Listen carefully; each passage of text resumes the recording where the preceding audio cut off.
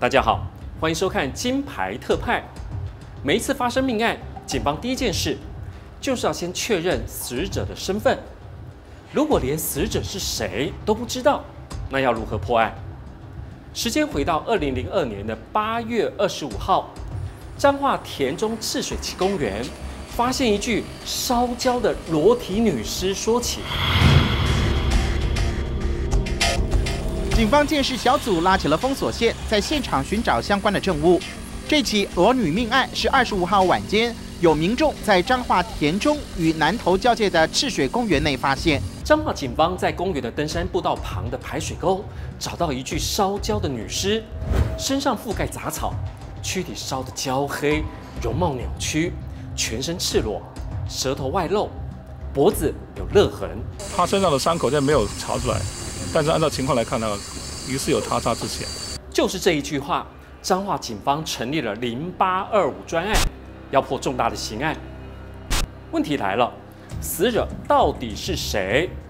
警方忙了好几天呢，居然没什么线索。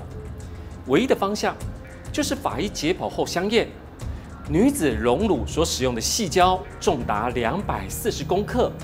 跟市面上惯用的一百八十公克到两百二十公克不一样，因此大胆假设女子极可能不是台湾人，所以警方的侦查卷宗，死者被称为无名女尸。由于死者的戒指有英文字，再加上头发可能是天生的红色，因此警方不排除可能是外劳。当时专案小组认为，只要查出死者的身份，很快就会破案。到这里。还是认为呢，查出死者的身份并不困难。警方根据死者的身高、年龄、体重来比对彰化的失踪人口，居然没有进展，只好呢先把女尸送进了殡仪馆的冰柜。没想到这一冰就是七年，成为悬案。二零零三年秋天，律师张庭珍跟朋友到彰化田中爬山。途中呢，经过了发现女士的排水沟，自称能通灵的张庭珍，突然有了强烈感应。就是很奇怪，走到公园门口前的时候，突然间是烈日当空啊，好很好的天气，可是突然间一阵，全身的鸡皮毛孔都竖起来，鸡皮疙瘩起来，甚至连头发都像被电到一样都竖起来啊。那我就觉得奇怪是有两种可能，一个是有灵界的力量修炼者，那还有一个可能就是就是有冤魂。之后，张庭珍询问警方。这才知道，案发地曾经发现一具裸体女尸，死状凄惨，冤气逼人。但是苦于毫无破案的线索，连死者是谁都不知道。他的心中燃起了一股好奇心。接下来种种的巧合，更是让他吃惊。过了一个礼拜，我们去社头喝咖啡，朋友约去喝咖啡，结果那个田中分局的警备队长巡逻曹慧生啊，巡逻经过。就坐下聊，我说，哎，我就想到说，哎，你们那个恰出去讲门靠到底五块钱贵重在逮鸡，他说，哇，就是洞八二五专案的，有一具无名的女干尸被弃置在那个公园门口的水沟，那一直到现在快快满两年了，一年一年半左右没有破，没有办法破案。那我那时候的心情是，突然陡的就降下来，而且呢哀戚的感觉，悲凉的感觉，是一种亡灵的那种冤气跟一种怨气了。张庭珍耿耿于怀，死者找上他申冤。不过，冥冥之中就是缺乏了破案契机。他想帮忙，也找不到着力点，只能先将这一件事放在心里。说也奇怪，四年后，有一次他来到彰化殡仪馆，他突然想起了裸尸命案。为了了解冤气的来源，张庭珍还跑到了弃尸地点附近的城隍庙去卜龟。当时城隍爷不在。后来是追捕罪犯的八爷范将军回来，瓦威的结果问出来，说凶手是死者的丈夫，而且还有其他共犯。为求慎重，张庭珍又赶到了二水的百年古庙安德宫请示天上圣母。瓦威再一次确认无名女尸是被丈夫下手杀害，让张庭珍很想当面跟死者来沟通。于是呢，他穿上了道服，到彰化殡仪馆，想要以寡龟的方式跟女士对话。这一问一答，让人头皮发麻。你是不是被你的先生跟婆婆加害的，如果是他们两个人害死你的，因为是他们俩害死你，凶手是你的先生，你嫁到台湾来的中国台湾的先生，害你的婆婆害死你的话，请四两圣杯。张廷珍继续要跟女士对话，问出蛛丝马迹。这时，他却感觉到通灵的过程受阻。根据这个研判，有可能是死者不愿意案情继续曝光。这其中又是什么原因呢？是不是虽然你被害了，你很痛苦，但是因为你说，如果说查到案子，你先生跟你婆婆会管你的小孩，没人照顾你会痛苦的话，是的话一圣杯。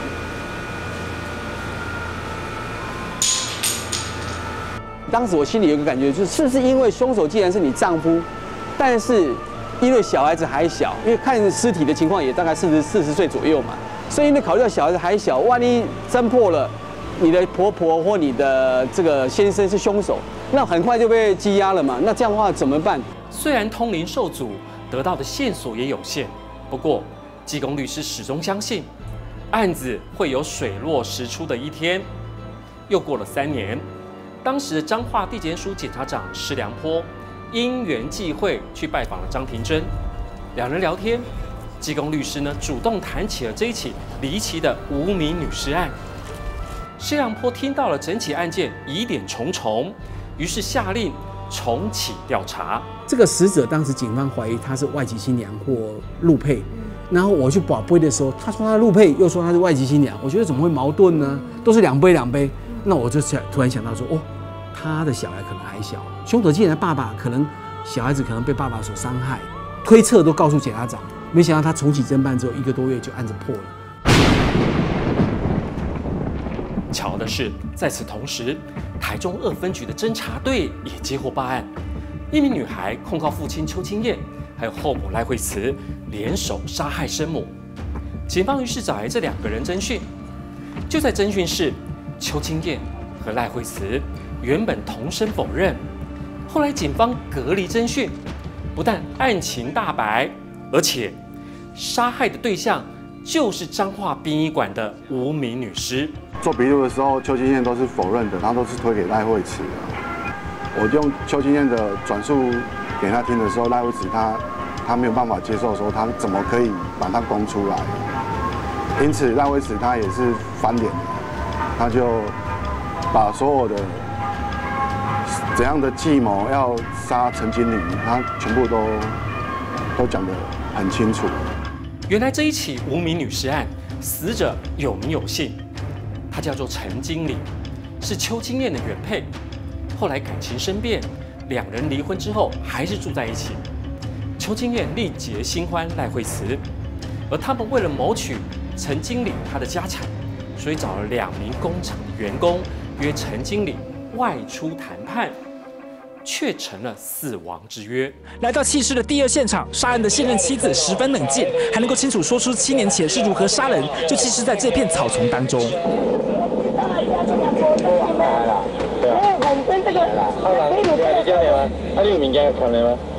边啊，这老窗户我但我看到过啊。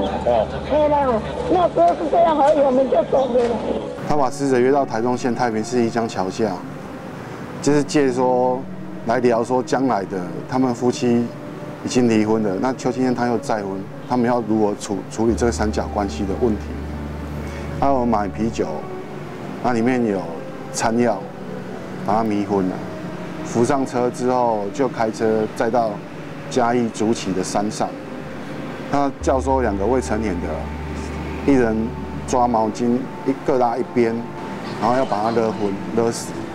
就在勒的过程，死者他有反应过来的，他有挣脱，挣脱他就打开车门跑出去，跑出去，他们那两个未成年的就捡拾地上的木棍就打他的头。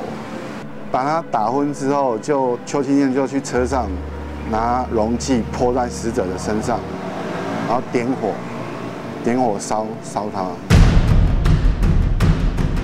所以到底他是被下药死的，还是打死的，还是烧死的？后来检方的调查认为说，当时火一烧之后他还痛啊，还还滚啊，还窜啊，说表示没有把他打死，打晕掉，一烧痛之后他又醒过来，所以这个陈经理啊受了很大很大的沉冤呐、男女共谋杀人，原本同在一条船上，而面对警方，两人却反目。就连后来被带到陈尸地，说明行凶的经过，这一对男女还竟然就在镜头前吵了起来。和现任妻子联手虐杀前妻，还杀人焚尸。重回案发现场，两人互推责任，在远景面前大吵一架，十分的难看。你记无？你我对后摆放尿，我当时去放尿，你对后摆放尿，我同意。你对后摆放尿，我同意。张庭珍认为，这起案件是林界主动找上他帮忙的案子。他不止一次想起了陈经理他的死状凄惨，但是当他进一步要试着以通灵对话来了解案情，却受到阻碍。